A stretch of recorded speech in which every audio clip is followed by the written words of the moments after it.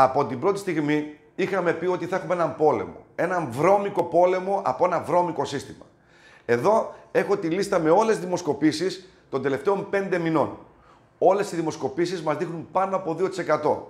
Το γνωστό έγκυρο εντός εισαγωγικών πολίτικο, το οποίο έχει σχέση με τον Τζορτ Σόρο, μας εξαφάνισε. Δεν μας έβαλε καν στην τελευταία του δημοσκόπηση. Ενώ όλες τις δημοσκοπήσεις ο μέσος όρος μας δίνει πάνω από 2%, αυτός είπε ότι στο μέσο όρο των ελληνικών δημοσκοπήσεων δεν υπάρχουμε. Θα πούμε κάτι στον Τζορτζ Σόρος. Εμείς, Τζορτζ Σόρος, όταν κυβερνήσουμε, τα δικά σου τα ιδρύματα θα τα κλείσουμε όλα.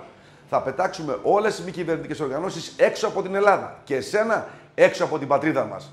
Τέρμα οι ψευτοδημοσκοπήσεις σου δεν είμαστε υποχείριά σου. Τέτοιες δημοσκοπήσεις να τις βάλεις εκεί που ξέρεις. Στο χρονοντούλαπο της ιστορίας.